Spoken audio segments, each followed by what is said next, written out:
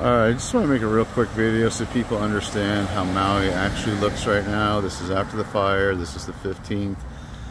We are looking at calm, beautiful water all the way across.